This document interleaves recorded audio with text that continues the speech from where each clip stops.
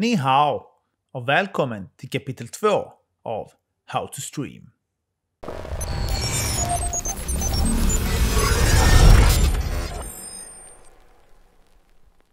Att strömma något live via sociala medier är stort. Men de flesta är inte riktigt medvetna om hur stort det är och hur det skiljer sig i olika kulturer. Speciellt här i väst och Sverige där vi bor har människor låg eller obefintlig kunskap om denna utveckling. Kina är vaggan där livesändningarna tog fart på riktigt. Man har varit före inom allt vi har här i väst när det kommer till livesändningar. I både antalet sociala medier som stödjer tekniken, innovation, antal användare, e-handel och andra saker kopplade till eh, livesändningar. Och kineserna de älskar livesändningar och har anslutit dessa till många olika samhällsnöjen i över ett decennium nu. Redan 2005 lanserade Ojing ett av de största sociala nätverken som du använde via din eh, PC. Främst när du spelade spel. Inom kort började man bredda sig för att inkludera kamera och chattfunktioner och folk livesände saker utöver spel som konserter, mode och sport. Och redan innan Amazon ägde Twitch lanserade sin första tjänst 2011 så hade Ojing en mobila på marknaden. Och idag har de 300 miljoner användare. Du bör dock vara medveten om att man bör alltid vara källkritisk när det kommer till streamingsiffror från Kina. Då många sociala nätverk i Asien lider av falska konton eller bots. Även på livestreamsen så hittar du robotar som låtsas vara människor. Trots denna tråkighet dock så är tjänsterna fortfarande enorma i storlek. Även vi i Sverige lider av denna moderna åkomma. Bara, fråga bara en viss blond svensk superinfluencer. En annan tjänst som är värd att nämna är Douyin, som är den mest populära kortvideoappen i Kina. Appen stödjer livesändningar och har idag över 320 miljoner dagliga användare. Som du vet så håller ju Kina gärna allt inom sina fyra väggar.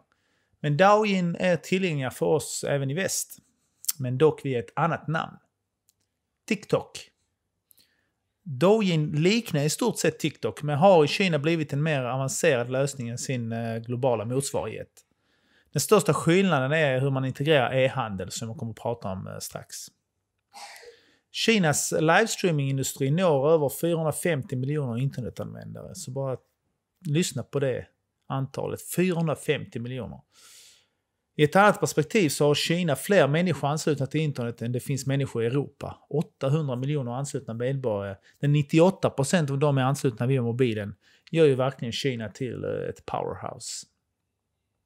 Att bli en streamer eller chubo, som betyder typ nyhetsankare, är ett alltmer populärt karriärval för landets ungdomar, särskilt kvinnor. Livesändningar är främst en form av kommunikation och kineserna älskar att kommunicera.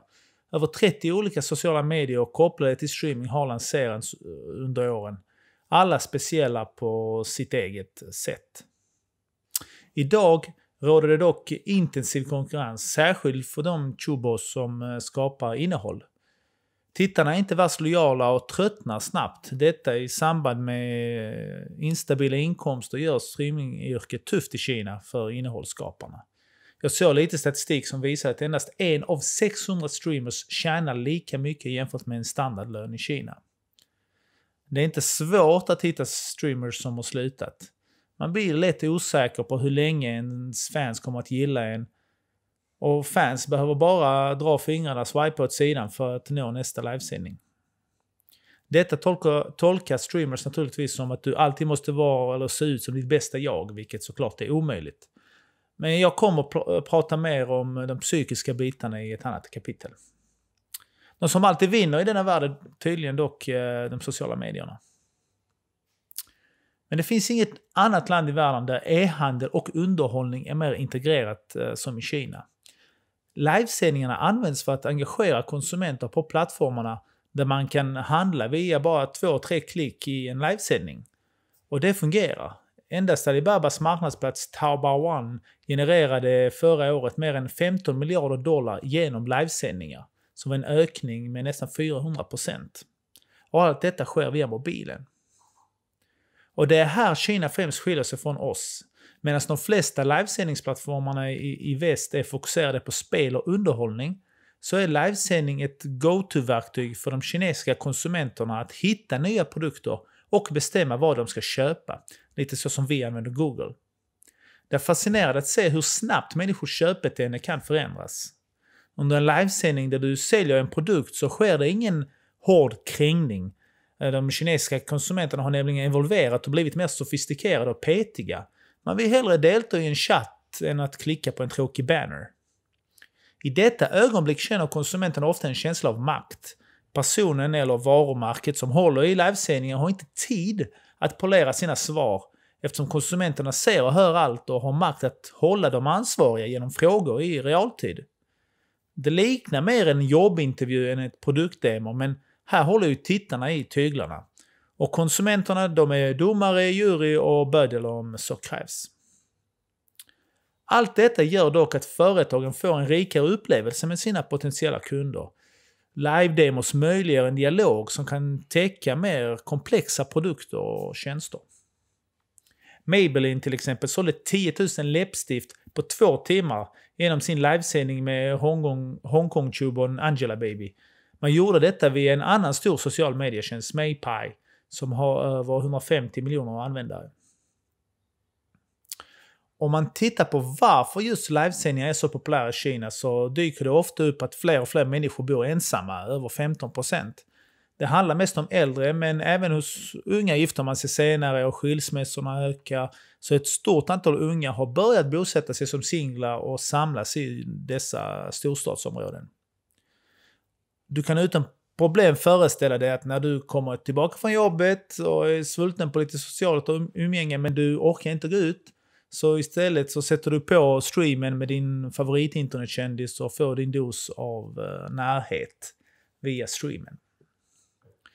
Fans säger att de känner deras puls och hjärta fladdra när en värld eh, reagerar på deras kommentarer. Om du blir plockad i strömmen så känner du dig speciell och uppskattad. Du fick lite uppmärksamhet från din idol. Och många är ju utsvultna på, på uppmärksamhet. Det är långt ifrån den upplevelsen du får när du tittar på Paradise Hotel här i Sverige, eller hur? Kineserna tittar på alla slags saker. Personer som promenerar runt bara, eller folk som sover till och med. Jag kommer att prata mer om, om vad de tittar på i ett annat eh, kapitel. På tal om enskilda hushåll så har vi ju många även här i Sverige. Sverige har varit känt för att ha en hög andel eh, enskilda hushåll under lång tid. Och idag har vi högst siffra i Europa faktiskt med cirka 39% som bor själva. Det kan ju låta hemskt, men det har faktiskt varit en del av familjedynamiken i, i Sverige rätt länge. Här till skillnad från andra länder är det mycket vanligare att ungdomarna flyttar ut när de är 19 20 år gamla för att prova sina vingar och smaka på livet. Något som inte är så vanligt runt om i världen, oftast på grund av att man inte har råd.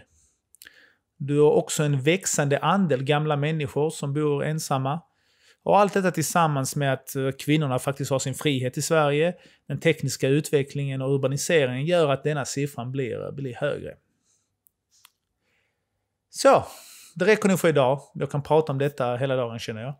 Men nästa vecka kommer jag att titta på resten av världen. Taiwan, Korea, lite USA, Europa. Så om du inte vill missa det så är det bara att eh, följa kanalen. Fram till nästa gång får du till och med en läxa att fundera på hur du handlar saker idag och föreställa dig hur det skulle vara att köpa något vid en livesändning istället.